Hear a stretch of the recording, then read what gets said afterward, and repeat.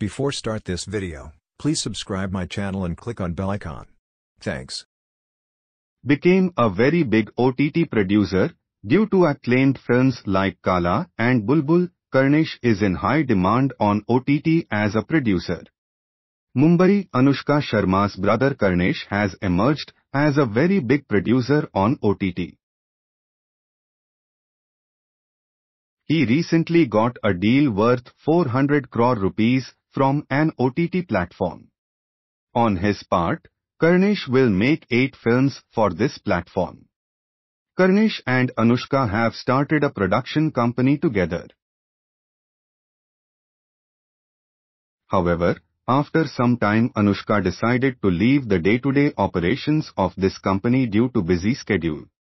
After that Karnesh is working as a full-time producer of this company. His production house has produced critically acclaimed films like Bulbul and Kala. Kala film is considered to be the first film made as part of this deal.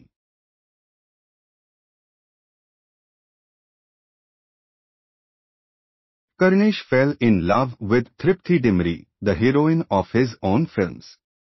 Both of them had also announced their relationship by sharing their intimate photos.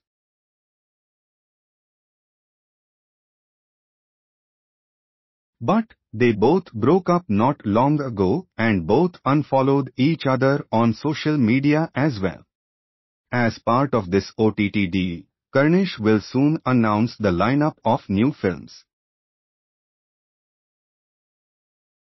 However, it is waiting for her to forget about her personal life and whether Lucky Charm repeats Dimri as the heroine or gives a chance to a new heroine.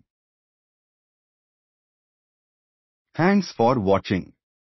Please subscribe my channel for more Bollywood Masala news.